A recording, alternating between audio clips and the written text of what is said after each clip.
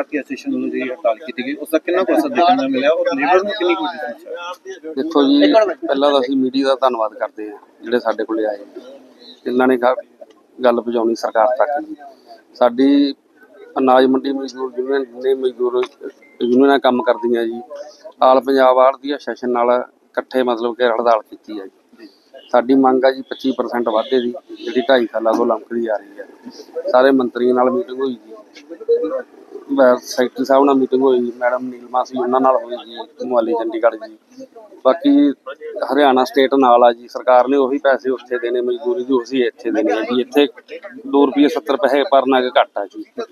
ਅਸੀਂ ਮੰਤਰੀਆਂ ਨੂੰ ਬੇਨਤੀ ਕਰ ਕਰ ਹੰਬ ਗਏ ਆ ਜੀ, ਵੀ ਸਾਡੇ ਇੱਥੇ ਬਈ ਉਹੀ ਮਜ਼ਦੂਰੀ ਲਾਗੂ ਕਰ ਦਿਓ 25% ਲਾਗੂ ਕਰ ਦਿਓ ਜੀ। ਸਾਨੂੰ ਇਸ ਕਰਕੇ ਲੇਬਰ ਦਾ ਬਹੁਤ ਔਖਾ ਜੀ। ਜਿੰਨਾ ਚਿਰ ਭਾਰਤੀ ਐਸੋਸੀਏਸ਼ਨ ਦੇ ਨਾਲ ਹੜਤਾਲ ਤੁਹਾਡੀ ਨਾਲ ਪੈਰਲਲ ਜਾਰੀ ਰਹੇਗੀ। ਪੈਰਲਲ ਜਾਰੀ ਰਹੂਗੀ ਜੀ। ਸਾਡੇ ਪੰਜਾਬ ਦੇ ਪ੍ਰਧਾਨ ਘੱਟੋ ਘੱਟ 20 ਮੀਟਿੰਗਾਂ ਕਰ ਚ- ਹਟੇ ਆ ਜੀ। ਰਕੇਸ਼ ਕੁਮਾਰ ਧੁਨੀ ਜੀ ਅੰਮ੍ਰਿਤਸਰ ਹੈਡ ਆਫਿਸ ਤੋਂ। ਪਰ ਸਰਕਾਰ ਦੇ ਕੰਨ ਤੇ ਕੋਈ ਜੂ ਨਹੀਂ ਸਰਕੀ ਜੀ। ਸਰਕਾਰ ਨੂੰ ਮਸਲਾ ਹੱਲ ਇਮੀਡੀਏਟਲੀ ਕਰਨਾ ਚਾਹੀਦਾ ਜੀ।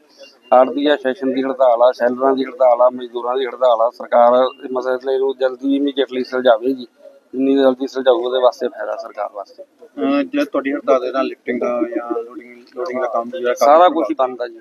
ਬੰਦ ਰਹੇਗਾ ਹਾਂ ਸਾਰਾ ਕੁਝ ਬੰਦ ਆ ਜਿਹੜਾ ਕੋਈ ਪ੍ਰਾਈਵੇਟ ਵੀ ਅੱਗੇ ਬੋਲੀ ਸੀ ਜੀ ਉਹ ਵੀ A to Z ਸਾਰਾ ਕੰਮ ਬੰਦ ਜੀ। ਸਾਰੇ ਪੰਜਾਬ 'ਚ ਹਾਲੀ ਅੱਜ ਤੋਂ 2 ਸਾਲ ਪਹਿਲਾਂ ਸੀਐਮ ਸੀਐਮ ਸਾਹਿਬ ਨੇ ਐਲਾਨ ਕੀਤਾ ਸੀ 25% ਵਾਧੇ ਦਾ ਜੋ ਕਿ ਉਹਨਾਂ ਨੇ ਕਿਹਾ ਸੀ 20% ਸੈਂਟਰ ਵੱਲੋਂ ਪਾਸ ਹੋ ਗਿਆ ਤੇ 5% ਪੰਜਾਬ ਸਰਕਾਰ ਦਊਗੀ।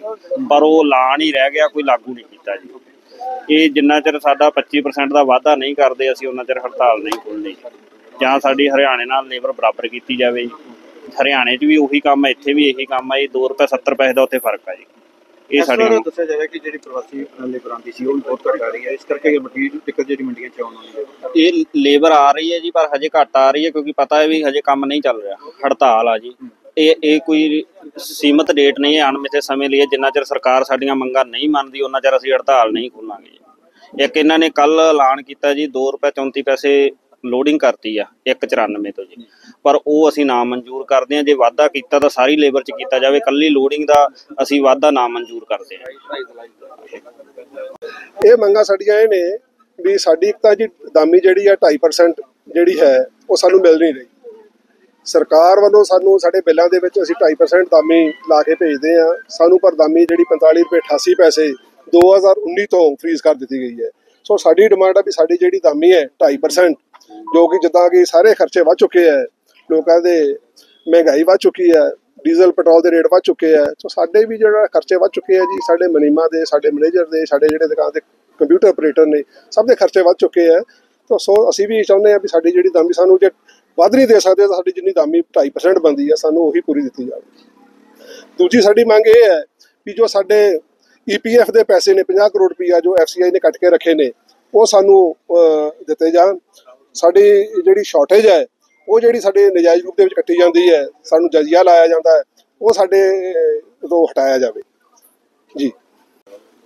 ਸਾਡੀ ਹੜਤਾਲ ਤਾਂ ਇਸ ਕਰਕੇ ਹੈ ਜੋ ਸਰਕਾਰ ਦੀ ਪੋਲਿਸੀ ਇੱਕ ਤਾਂ ਸਾਡੀ ਦਾਮੀ ਕਰਕੇ ਜੀ। ਸੈਕੰਡ ਜਿਹੜੀ ਸਪੇਸ ਨਾ ਹੋਣ ਕਰਕੇ ਸ਼ੈਲਰ ਨੇ ਆਪਣੀ ਅਲਾਟਮੈਂਟ ਨਹੀਂ ਕਰਾਈ ਉਹਨਾਂ ਨੇ ਕੋਈ ਫਾਈਲ ਆਪਣੀ ਅਪਲੋਡ ਨਹੀਂ ਕੀਤੀ। 182 ਸ਼ੈਲਰ ਹੈ ਸਾਡੇ ਫਰੀਦਕੋਟ 'ਚ।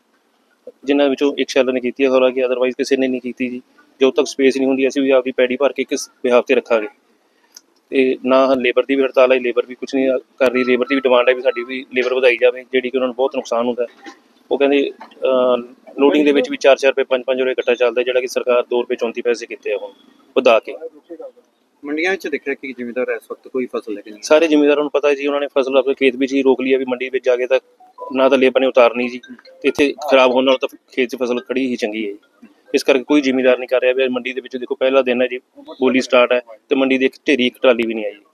ਉਹਦੀ ਵਜ੍ਹਾ ਇਹ ਹੈ ਵੀ ਨਾ ਇੱਥੇ ਕੋਈ ਖਰੀਦ ਪ੍ਰਬੰਧ ਕਰਕੇ ਵੀ ਸਰਕਾਰ ਦੇ ਜੇ ਆੜਤੀ ਦੀ ਹੜਤਾਲ ਕਰਕੇ ਵੀ ਲੈ ਕੇ ਜਾਣਾ।